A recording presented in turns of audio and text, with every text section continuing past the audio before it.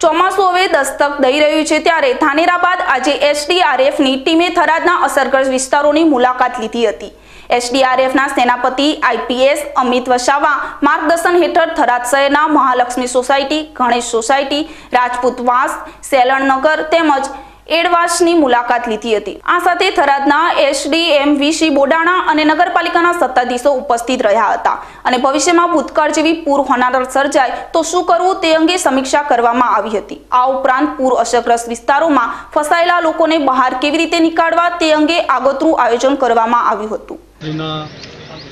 આદેશથી અહીંયા થરાદ નગરપાલિકા વિસ્તારની અંદર જે નીચાણવાળા વિસ્તારોમાં પાણી ભરાય છે, એમને ઊંચાણવાળા વિસ્તારોમાં લઈ જવા માટે અહીંયા એસડીઆરએફની ટીમ અને એમના આઈપીએસ શ્રી અમિત વસાવા સાહેબની સૂચનાથી ડીવાયએસપી શ્રી ચૌધરી સાહેબ, પીએસઆઈ શ્રી મુલતાની સાહેબ અને એમની એસડીઆરએફ ટીમના સિત્તેર જેટલા સભ્યો અહીંયા સમગ્ર થરાદ નગરપાલિકા વિસ્તારના નીચાણવાળા વિસ્તારોનું પગપાળા ચાલીને નિરીક્ષણ કર્યું છે.